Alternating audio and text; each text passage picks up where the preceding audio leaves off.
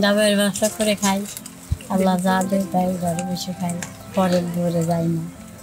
মানে পরের কাছে আর পাতি না। আমরা গরিব মানুষ। কাজ কাম করে দুটো পয়সা ইনকাম করে খাই খাই আর কি।